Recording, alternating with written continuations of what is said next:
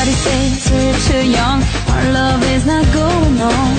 They say you better go away, cause this love is made of sorrow and pain. Love is enough. Love is enough. I know that love is enough. Love is enough.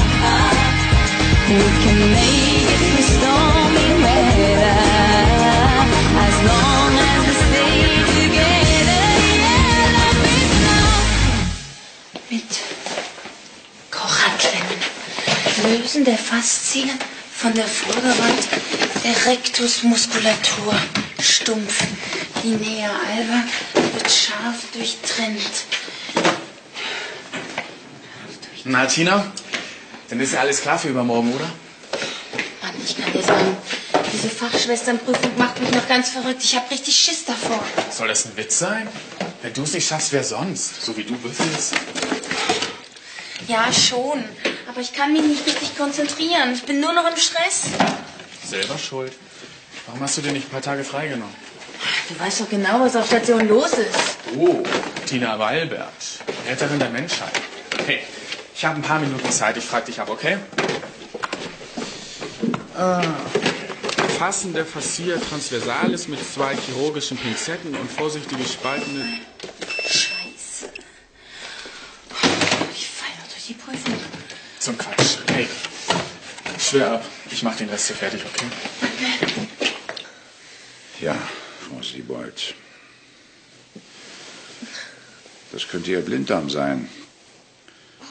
Wenn sich mein Verdacht bestätigt, dann werden wir den wohl rausnehmen müssen. Sie meinen, eine Operation? Den Blinddarm haben Sie in zwei Wochen vergessen. Ich sag Dr. Kreuzer Bescheid, der schaut sich das nochmal an.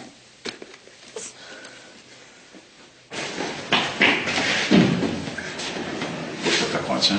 Nicht. Ach, Tina. Ich habe mit dem Professor verhandelt. Ich würde Sie gerne auf meine Seite ziehen, wie man so schön sagt. Wenn Sie Ihre Prüfung hinter sich haben, dann würde ich Sie gerne als OP-Schwester in der Gynäkologie begrüßen. Mich? Ich denke, wir würden ganz gut zusammenarbeiten. Überlegen Sie sich's. Hier ist danke. Aber du weißt natürlich nicht, wie lange. Gefällt dir wohl nicht, dass deine Frau mit Haare schneiden mehr Geld verdient als du, ne? Hättest du wohl gern. Herr Kreuzer, Ja.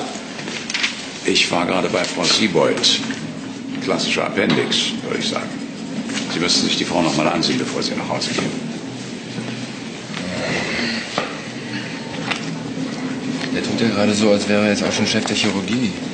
Ich werde hier der Chef. Tschüss. Ja, ja, ja. Mach's gut. Tina, hätten Sie Moment Zeit für mich? Würden Sie sich ein Weilchen um Frau Siebold kümmern? Ein bisschen die Seele streicheln? Aber nur weil Sie es sind, Dr. Kreuzer. Ich komme auch gleich.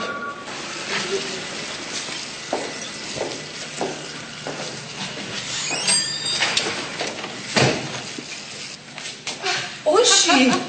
Hallo Schwesterchen, da staunst du, nicht? Ja, allerdings, wo kommst denn du her? Frag lieber, wo ich hin will. Das also ist dein neuer Salon. Störe ich oder darf ich reinkommen? Nee, bitte, komm doch rein. Wie geht's, Rola? Was machen deine Kinder? Wie geht's Alina? Hat sie schon gefunden? Und was ist mit Jakob? Ach, ich bin völlig fertig. Hast du einen Kaffee für mich? Sahne, aber ohne Zucker?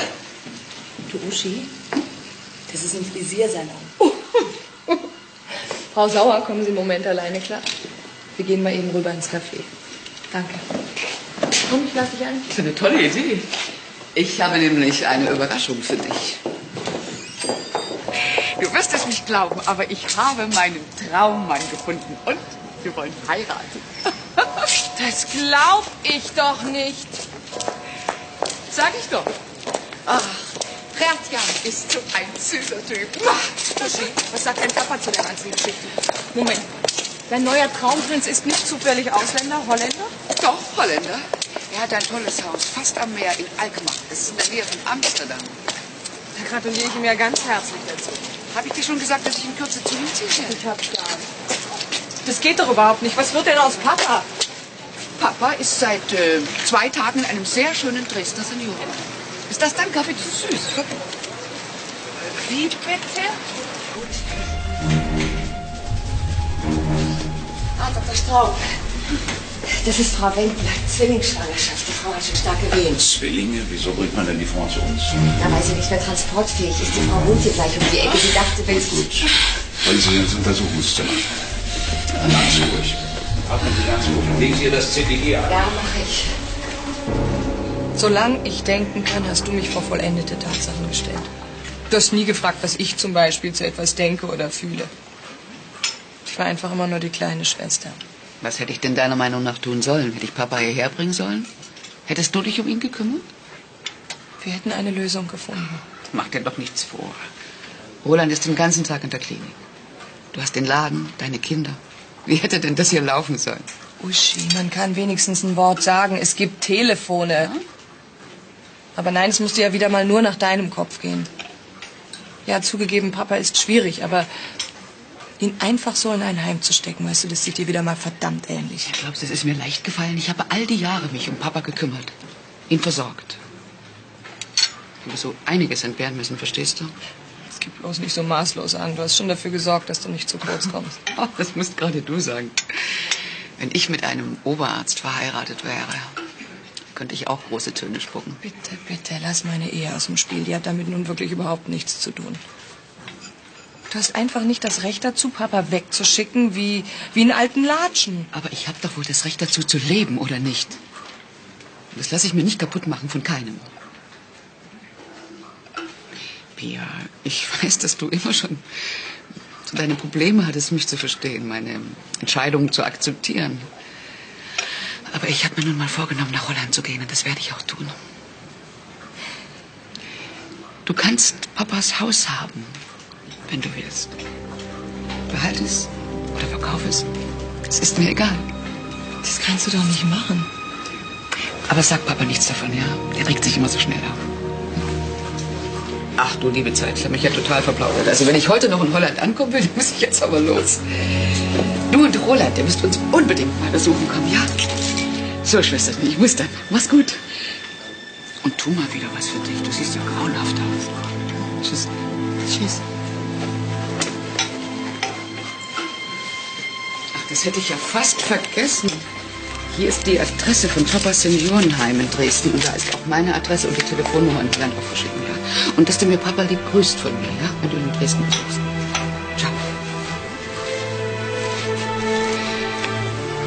Pia, ich bin seit Jahren mal wieder richtig glücklich, weißt du.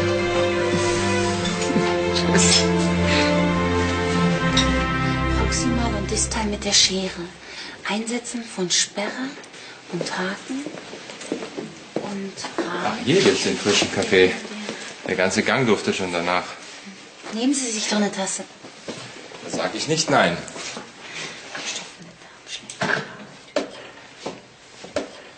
Straub hatte recht. Frau Siebold muss morgen unter das Messer. Langsam geht mir dieser Wunderdoktor auf die Nerven. Also ich finde Dr. Straub sehr nett. Leiden Sie unter Geschmacksverirrung? Wenn hier jemand nett ist, dann bin es ja wohl ich. Vor Ihnen sollte man sich lieber in Acht nehmen, Doktor. Halb so wild. Aber vielen Dank für die Blumen.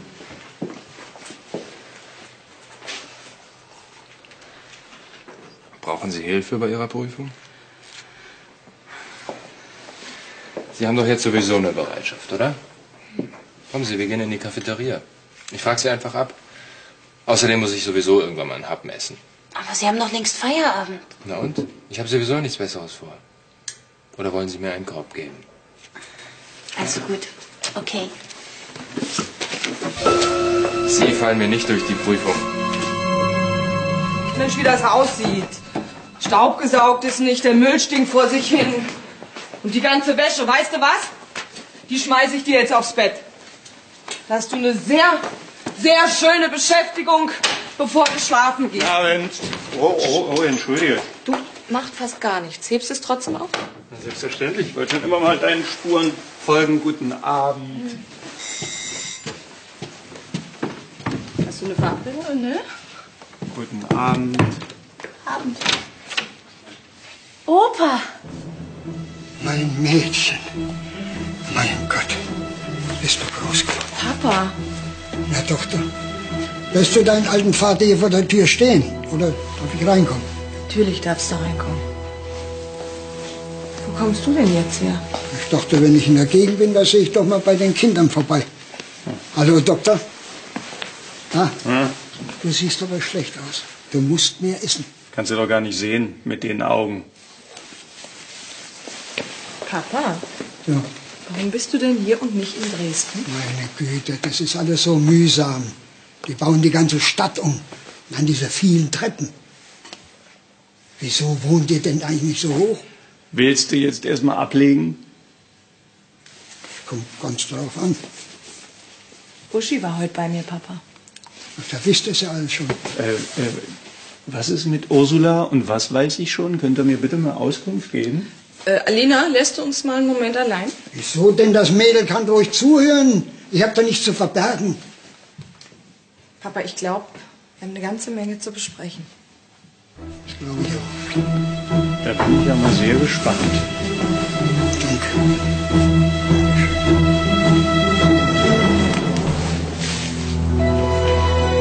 Wir werden erst einmal die Wehen bremsen, Frau Windler, deshalb der Tropf.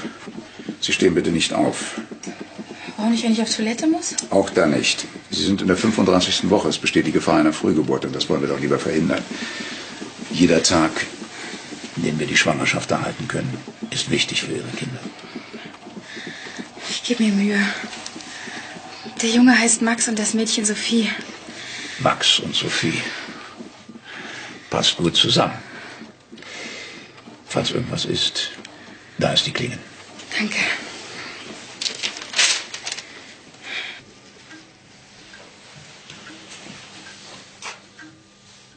Ist alles in Ordnung, Herr Doktor? Nein, Oberschwester. Die Herztöne gefallen mir nicht. Überhaupt nicht. Und was können wir tun? Benachrichtigen Sie die Anästhesie und geben Sie Schwester Tina Bescheid. Der diensthabende Anästhesist ist seit 20 Minuten im OP und Dann ich weiß jetzt wirklich bitte nicht, Frau. Dietz. Ich möchte auf keinen Fall ein Risiko eingehen. Bitte? Mache ich, Herr Doktor? Der. Der. ähm, Ganz ruhig, ganz ruhig. Der Truncus coeliacus. Koiakos, ja. Von diesem zweigt die kräftige Arteria gastrica sinistra ab, um in der Nähe der Kardia die kleine Kurvatur zu erreichen. Ah. Na wunderbar, geht doch. Solange Sie mich so ruhig abfragen, fühle ich mich absolut sicher. Aber ich habe Angst davor, dass ich übermorgen total versage. Ich habe doch diese blöde Prüfungsangst. Ach, Quatsch, das ist doch kein Problem für Sie. Sie sind doch ein patentes Mädchen und eine sehr gute Krankenschwester. Sie wollen mir nur Mut machen. Doch, aber das darf doch wohl nicht wahr sein. Dieses Mädchen. Tina? Tina! Tina! Schwester Tina! Fabi, haben Sie Tina gesehen? Tut mir leid, ich weiß nicht, wo sie steckt. Ist was passiert? Wir brauchen sie dringend im OP. Ist der Pieper kaputt? Den hat sie im Schwesternzimmer liegen lassen. Ich gehe sie suchen, Oberschwester. Sie soll sofort in den OP 2 kommen, ja? Jo. Schwester, Ja? können Sie mir sagen, wo ich meine Frau finde? Sie heißt Annika Wendler. Wendler, ähm, ja, Herr Wendler, Ihre Frau liegt auf der Günden, der dritten Etage. Aber ich weiß nicht, ob Sie jetzt so außerhalb der Besuchszeit zu ihr können. Hören Sie, ich hatte den ganzen Tag Dienst. Und eben als ich nach Hause kam, da fand ich Annikas Zelle, dass sie dringend in die Klinik müsse. Ich mache mir große Sorgen. Wir bekommen Zwillinge, wissen Sie. Na, dann gehen Sie mal zu ihr. Aber ich kann Ihnen nicht versprechen, ob Sie jetzt zu ihr können. Da geht's die Treppe rauf, ja?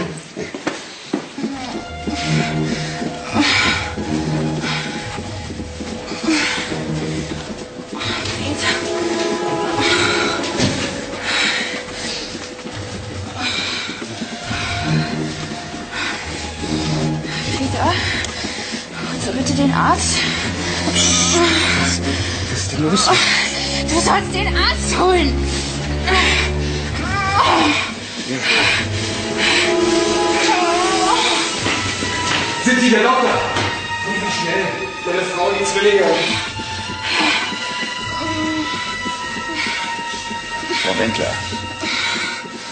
Kein Grund zur Besorgnis. Es ist nur die Fruchtblase geplatzt. Ist das schlimm? Nein, das ist nicht weiter schlimm. Warten Sie bitte draußen.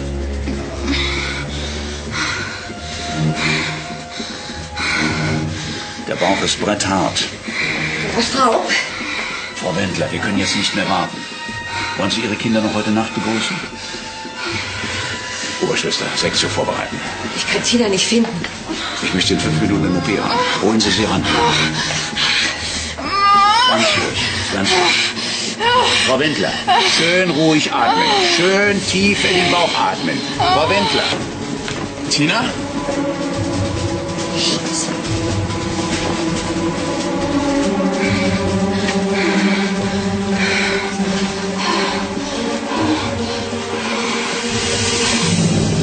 Stellenweise mehr als mancher Facharzt. Kompliment. Mit Ihnen zu lernen ist ein echtes Vergnügen. Sie haben das besser drauf als jeder Lehrer. Naja, schließlich habe ich mir auch vorgenommen, in spätestens zehn Jahren Professor zu sein. Aber nicht weiter sagen.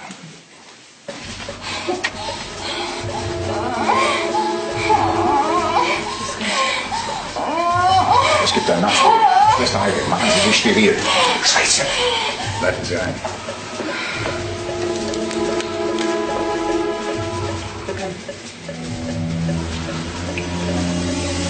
Ich weiß nicht, was Sie noch lernen wollen. Sie wissen doch alles. Machen wir Schluss für heute. Und nochmals vielen Dank, Dr. Kreuzer. Ja. Tina, sind Sie wahnsinnig geworden? Wir suchen Sie im ganzen Haus. Im OP steht die Sektion der Zwillinge an. Zwillinge? Scheiße, mein Pieper ist weg. Ja, den habe ich im Schwesternzimmer gefunden. Was soll ich denn jetzt bloß machen? Ja, Mädchen, in den OP. Dalli, Dalli, los, schnell. Scheiße, ausgerechnet bei Dr. Straub muss mir was passieren. Und hinterher wasche ich Ihnen den Kopf. Haben Sie gewusst, dass Tina Bereitschaft hat? Ja, aber ich habe gedacht, sie hätte ihren Pieper dabei. Wenn Tina rausfliegt, Herr Dr. Kreuzer, dann sind Sie mit Schuld. Das war verdammt knapp. Ich bin froh, dass wir es geschafft haben, beide Kinder zu retten. Schwester Tina schmeiß ich raus. Der Junge ist okay, das Mädchen hat nur 1500 dran. Ich habe sie auf Neonatal genommen. Gut, Dr. Klausen. Was meinen Sie? Wird es das Mädchen schaffen? Ich kann nichts versprechen. Die Herztöne der Kleinen gefallen mir überhaupt nicht. Aber wir haben auch schon 1000 Gramm Babys durchgebracht. Wollen wir mal hoffen. Wo kommen Sie denn jetzt her? Ich war unten in der Ich bin Cafeteria. enttäuscht, schwer enttäuscht. Ich habe das nicht gewollt. Das war ein Missverständnis. Schluss jetzt. Verlassen Sie meinen OP.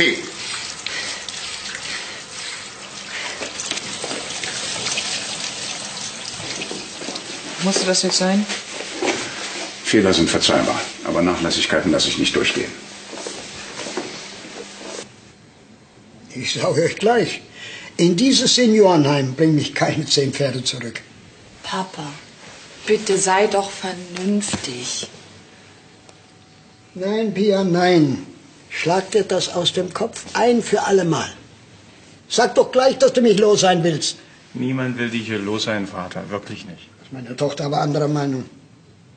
Sag mal, hast du dir eigentlich schon mal überlegt, wie viele Dinge wir dir hier nicht bieten können? Ich brauche nicht viel. Wir haben nicht ausreichend Platz. Was ist mit deinem Mittagessen? Und die medizinische Versorgung, sowas ist doch alles in einem Seniorenheim viel besser organisiert. Wenn mir was fehlt, wozu ist denn mein Viecher so ein Arzt? Und Essen kochen kann ich selber.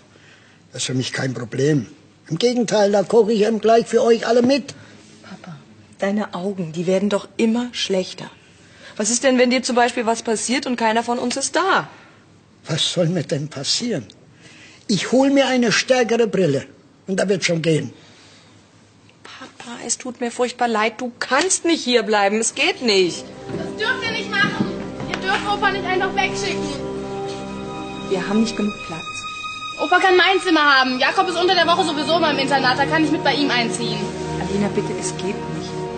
Ich kümmere mich um Opa, versprochen. Bitte. Papa. Ist ja gut. Bist ein braves Mädel, Alina. Ist ja gut. Ich werde schon irgendwo zurechtkommen. Also, meine Lieben, wir gehen jetzt erstmal schlafen. Morgen ist ein neuer Tag und dann überlegen wir, was wir machen. Du kannst erstmal hier bleiben, ein paar Tage und. Geht das in Ordnung, Pia? Ja, sicher. Gut. Ich danke dir, mein Junge.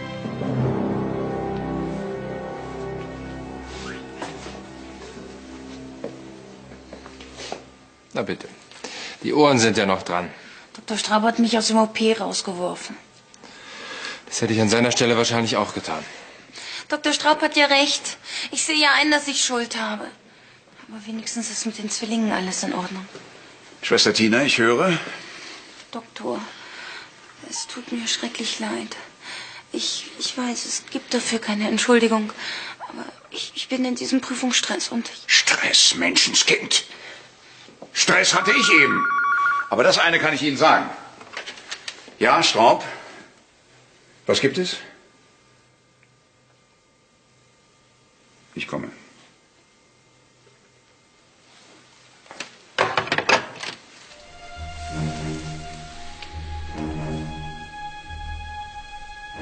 Das Mädchen ist eben gestorben. Verschwinden Sie.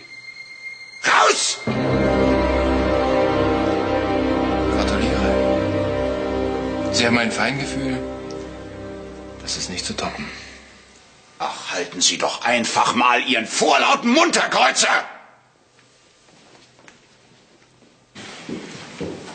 Hast du Tina gesehen? Schon wieder Tina. Das Mädchen ist gestorben. Die von den Zwillingen. Ach nein. Und Straub macht jetzt Tina dafür verantwortlich. Ach komm, das kann er doch gar nicht. Da spielen so viele Faktoren eine Rolle. Ja, sagt das Straub. Ich muss unbedingt Tina finden. Irgendwie fühle ich mich für das Mädchen verantwortlich.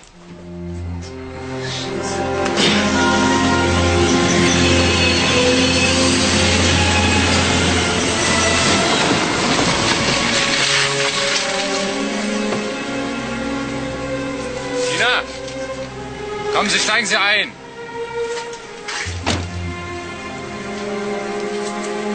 Kommen Sie. Zu diesem Zeitpunkt kann niemand sagen, was wirklich passiert ist. Sie trifft bestimmt keine Schuld. Ich hatte Bereitschaft. Ich habe einen Menschen getötet. Hören Sie auf, sich Vorwürfe zu machen. Wir können nur abwarten. Kommen Sie, ich fahre Sie nach Hause.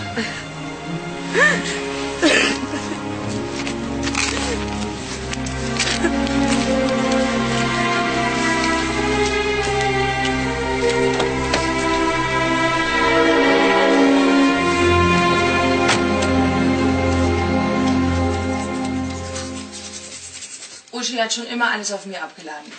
Da kommt die einfach reingeschneit, stellt mich vor vollendete Tatsachen und ich kann wieder mal zugucken, wie ich damit zurechtkomme.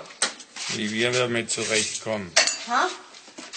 Wie wir damit zurechtkommen. Roland, Tatsache ist doch, Papa kann nicht alleine in Dresden bleiben. Seine Augen sind eine Katastrophe. Der ist auf Hilfe angewiesen. Weißt du, was das im Klartext heißt? Wenn der nicht in dieses Seniorenheim geht, dann müssen wir ihn hier behalten. Deine Schwester hat sich in der letzten Zeit um deinen Vater gekümmert. Findest du dich, jetzt bist du mal dran? Was hat sie? Sie hat sich um Papa gekümmert oder lach ich aber? Weiß doch selber, wie sie das immer gemacht hat. Wenn sie mit den Typen nicht mehr klargekommen ist, ist sie ins Elternhaus reumütigst zurückgekehrt und hat sich durchfüttern lassen. Du, die hat schon wieder so einen Traummann, einen Holländer. Ja. Wenn es keinen anderen Weg gibt, dann, dann müssen wir eben. Müssen wir eben nicht. An wem bleibt denn wieder die ganze Arbeit hängen? Mensch, wirklich, ihr stellt euch das immer so einfach vor. Wenn ich Alina schon höre, ich kümmere mich um Opa. Du weißt, und du kannst auch nicht immer der gute Mensch sein, wirklich. Das hängt mir wirklich zum Hals raus. Friedrich ist dein Vater. Hör auf. Hör auf, mir ein schlechtes Gewissen einzureden. Es ändert nichts an der Tatsache, dass ich ihn hier nicht im Haus haben will. Basta. Gute Nacht. Gute Nacht. Morgen. Ein Kaffee bitte.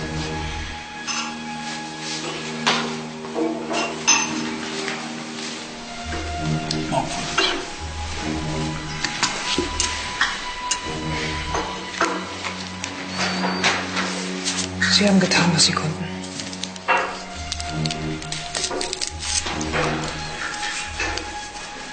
Wenn Schwester Tina da gewesen wäre, wäre es schneller gegangen. Vielleicht hätten wir es geschafft. Es ist noch nicht mal erwiesen, ob Tina überhaupt Schuld hat. Viel eindeutiger wollen Sie den Schuld noch definieren. Ich dachte immer, Sie schätzen Schwester Tina.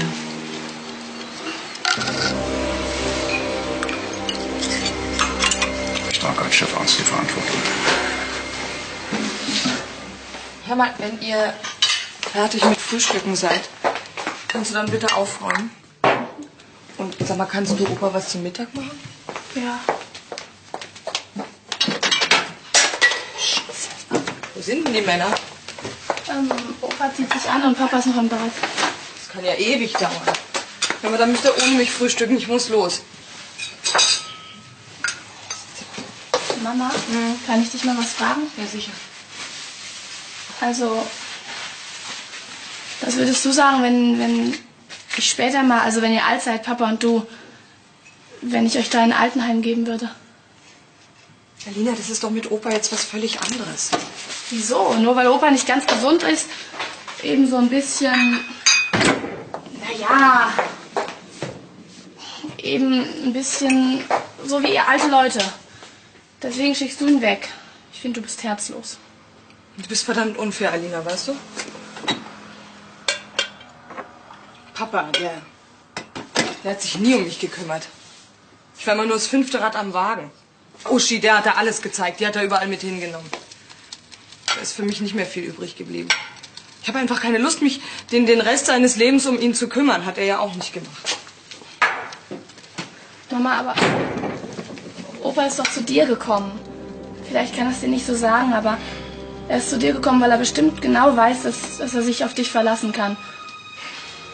Und weil er deine Hilfe braucht. Bitte, Mama.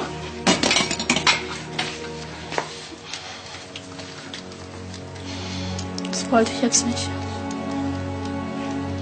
Alina, du hast ja recht. Weißt du was? Ich denke noch mal drüber nach, okay? Ich hau jetzt erstmal ab. Macht's gut.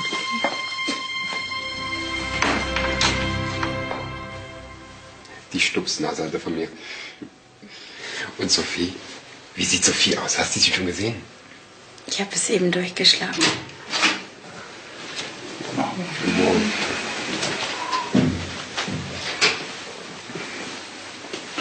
Morgen, Frau Wendler. Wie fühlen Sie sich? Besser als gestern, danke. Herr Doktor, wir würden so gern unsere Tochter sehen. Ja, wie geht's meiner kleinen Sophie? Frau Wendler, Herr Wendler, ich muss Ihnen das leider sagen. Ihre Tochter hat es nicht geschafft.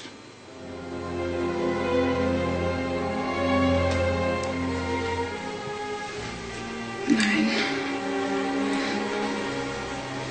Nein. Peter. Ihr kleines Herz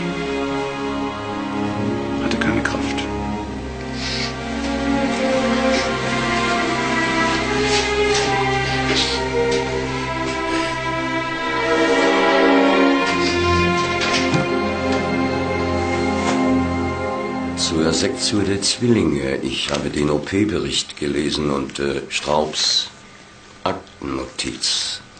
Die OP fand nur statt, weil die unsterile Schwester improvisieren konnte. Schwester Tina war trotz Rufbereitschaft nicht auffindbar. Ist das richtig? Ja. Gut. Herr Straub, eine Frage. Hätten wir Frau Wendler nicht in das Perinatalzentrum der Uniklinik überweisen müssen? Als die Patientin hier ankam, war sie nicht transportfähig. Das muss ich bestätigen, Herr Professor. Es bleibt einzig die Tatsache, dass es unter der Sektio eine Verzögerung von wenigen Minuten gab und die hat höchstwahrscheinlich das Mädchen das Leben gekostet. Sagt es, sagt der Herr Kollege. Wir wollen doch wohl nicht dem Bericht des Pathologen vorgreifen, nicht wahr? Ich verstehe Ihre Skepsis nicht, Herr Professor. Ich denke, wir sollten Schwester Tina zu dem Vorfall hören. Ich sehe dafür keine Notwendigkeit. Aber ich. Frau Dietz, würden Sie bitte Schwester Tina holen.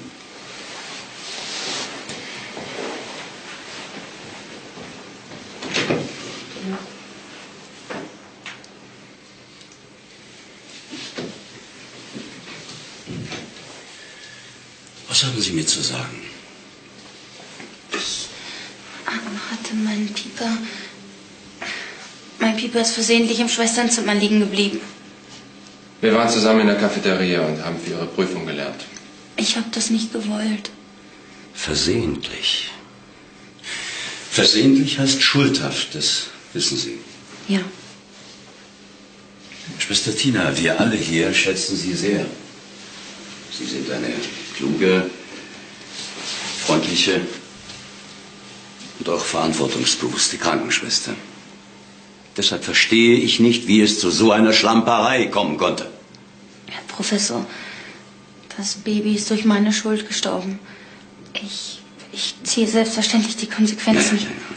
Nichts Unüberlegtes tun. Uns wie erwachsene Menschen benehmen. Zuerst einmal wird die genaue Todesursache des Mädchens festgestellt.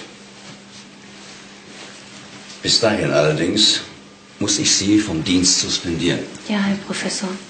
Ich bitte Sie, bis zur Klärung des Sachverhaltes sich zur Verfügung zu halten.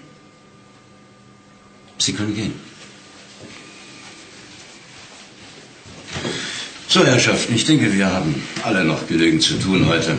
Ich danke Ihnen.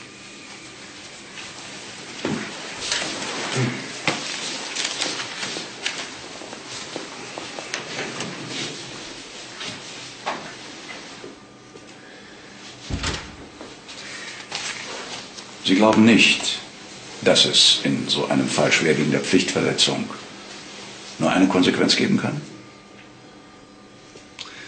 Herr Straub, ich wiederhole mich nur äußerst ungern. Bevor ich nicht den Bericht des Pathologen in den Händen halte, werde ich keine voreiligen Schlüsse ziehen. Ich rede nicht über den Bericht Es ist genug. Herr Straub.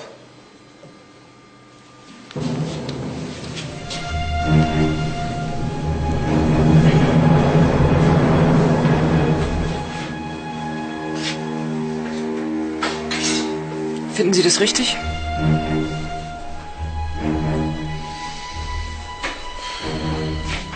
Also ich würde mich der Situation stellen und kämpfen.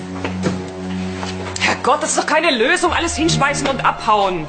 Kurz vor Ihrer Prüfung. Es ist noch nicht mal die genaue Todesursache geklärt. Auf Wiedersehen, Frau Dietz. Tina! Jetzt schlafen Sie doch erst mal drüber und dann reden wir noch mal morgen. Ich bin schuldig, verstehen Sie das nicht?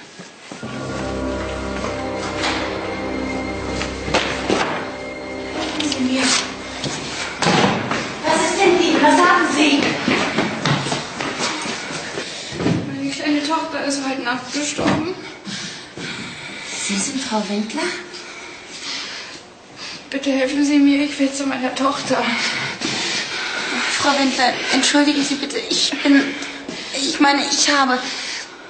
Sie können jetzt nicht zu Ihrer Tochter. Sie müssen sich ausruhen.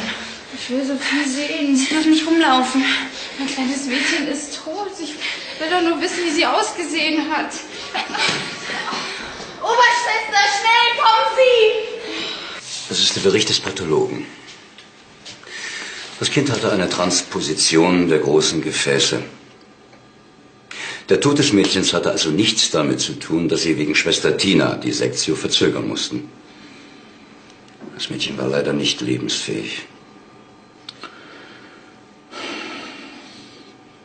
Gut.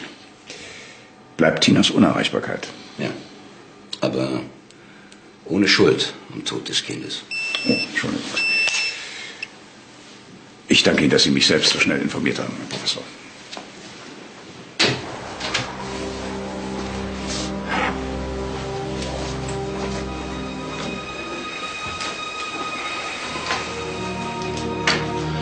Frau Wendler, was machen Sie mir denn da für Sachen? Ich wollte doch nur mal meine Tochter sehen. Ist auch keine so gute Idee. Sie sollten sich jetzt um Ihren Sohn kümmern. So schlimm es auch klingt, aber für Ihre Tochter kann niemand mehr was tun. Die Natur hat ihr keine Chance gegeben. Sie hatte einen angeborenen Herzfehler, der selbst operativ schwer zu beheben gewesen wäre. Dann war es also nicht die Hektik der Operation. Nein. Wenn Sie möchten, können Sie in den Bericht der Pathologie einsehen. Nein, danke. Ich Sie noch um was bitten, Herr Doktor? Ja. Mein Mann, er wollte nur ein paar Sachen für mich holen. Er muss nicht unbedingt erfahren, was vorhin passiert ist. Er macht sich schon genug Sorgen. Bleibt unser Geheimnis. Aber nur, wenn Sie meinen Anweisungen folgen. Und sich ein bisschen mehr schonen. Ich verspreche es.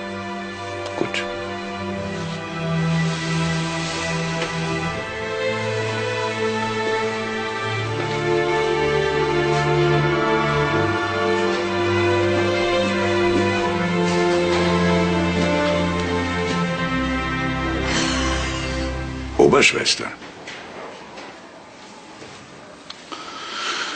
Sie wissen nicht zufällig, ob Schwester Tina noch im Hause ist?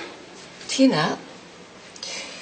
Tina hat mitgeholfen, Frau Wendler aufs Zimmer zurückzubringen und dann wollte sie die Klinik verlassen.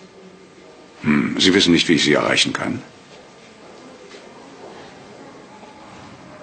Ich glaube, ich habe ihr Unrecht getan. Na, da fällt mir aber ein Stein vom Herzen. Oberschwester, ich möchte Schwester Tina in zwei Stunden in meinem Büro sehen.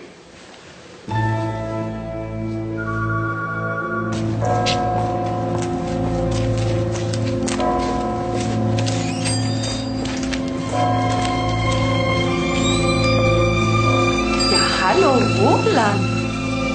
Kleinen Moment.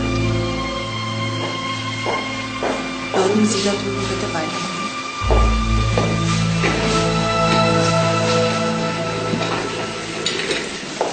möchte die Sache mit deinem Vater geklärt haben. Wie stellst du dir das vor? Wenn wir uns alle ein bisschen auf die neue Situation einstellen, dann kriegen wir das schon hin. Sind wir eine Familie oder nicht? Du, wenn du zum Kopfwaschen hergekommen bist, dann muss ich dich leider enttäuschen. Das hat nämlich Alina heute schon mit mir veranstaltet. Ja, Alina? Mein Vater darf bei uns bleiben. Du, ihre Argumente, die waren nicht von schlechten Eltern. Kunststück, die kenne ich. Besonders Alinas Vater ist ein guter Typ. Oder? Also, Roland, manchmal weiß ich wirklich nicht, was ich mit dir noch anfangen soll. Da fällt mir schon das eine oder das andere ein. Zum Beispiel Zum Beispiel? mit dir essen gehen. Und zwar sofort auf der Stelle. Frau Sauer. Sie sind wirklich ein Schatz. Gehen Sie noch, Frau Heilmann. Und viel Spaß. Danke. Ja? Sie haben mich hier gerufen, Herr Doktor? Schwester Tina, gut, dass Sie die Zeit gefunden haben.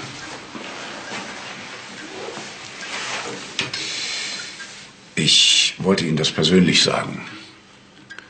Die Untersuchungsergebnisse haben gezeigt, äh, also das Kind hat sein Leben nicht durch Ihre Schuld verloren. Sie können das gerne selbst lesen.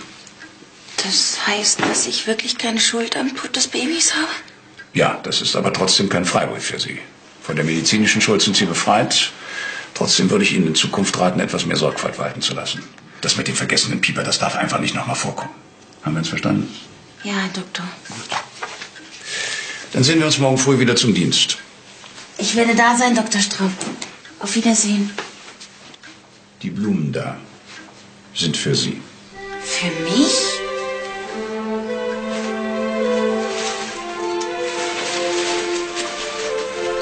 Schwester Tina.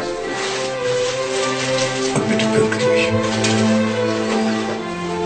Wie komme ich denn zu der Ehre? Weil ich dich so toll finde. Ich schlage vor, wir gehen erstmal was einkaufen und dann kannst du dir ein Restaurant aussuchen nach deiner Wahl. Gehen mal einkaufen. Versprichst du mir, dass du nicht rummeckerst? Hm. Friedrich hat die große Suppenschüssel fallen lassen, aus Versehen. Ich denke, wir müssen was mit seinen Augen machen. Das fängt ja gut an. Was machen wir jetzt? Jetzt gucken wir nach dem Teppich. Warum? Oder weißt du was anderes? Kannst du den Teppich selber rein oder müssen wir jemanden holen lassen? Oh nee, bitte nicht. Ein ziemlich großer Fleck. Ich bring ihn um. Gut. Aber immerhin, er ist dein Vater. Roland, ich gehe keinen Schritt weiter, bevor ich nicht weiß, was noch passiert ist. Und das kann eine Weile dauern. Nee, nee, nee, nee. Komm, das war Spaß. Mehr war nicht, ehrlich. Na, warte, lieber, das wird ein teures Essen. Du drauf.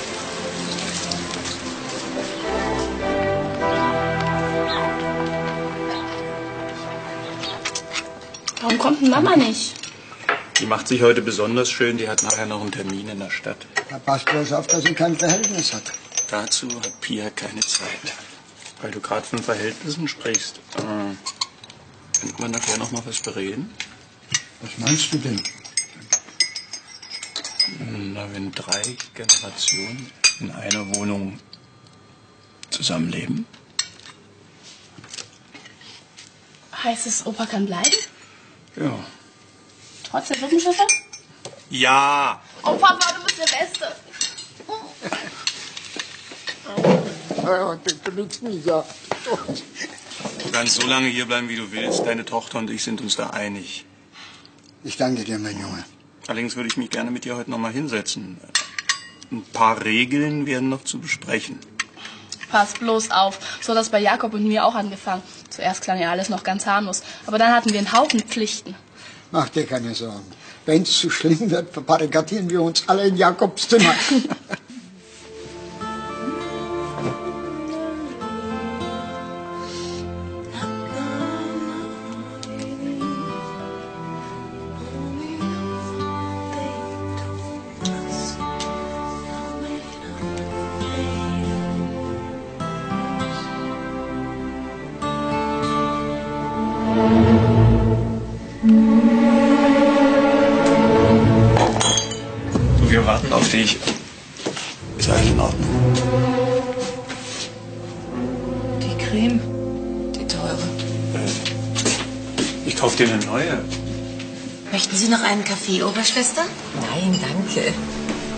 ein Brötchen? Wenn Sie wollen, dass ich platze. Darf man? Natürlich darf man. Sie wollten schon alles hinwerfen. Fast schon vergessen. Besser ist das. Oder glaubten Sie wirklich, wir hätten Sie gehen lassen? Sagen Sie, Martina, stimmt das, Herr Dr. Straub? Was denn? Rosen? Langstielige. Hört auf mit der Geheimniskrämerei. Was ist mit ihm? Herr Dr. Straub hat sich bei unserer Tina entschuldigt und hat ihr einen Riesenstrauß langstieliger Rosen geschenkt. Moment mal. Der Dr. Straub? Der aus der Gün? Der Chefarzt? Mhm.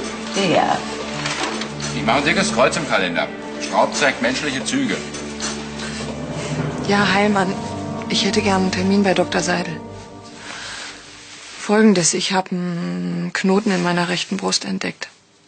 Ja, so schnell wie möglich, das wäre gut. 13 Uhr passt mir. Ja, wiederhören. Everybody says you're too young. Our love is not going on. They say you better go away. Cause this love is made of song.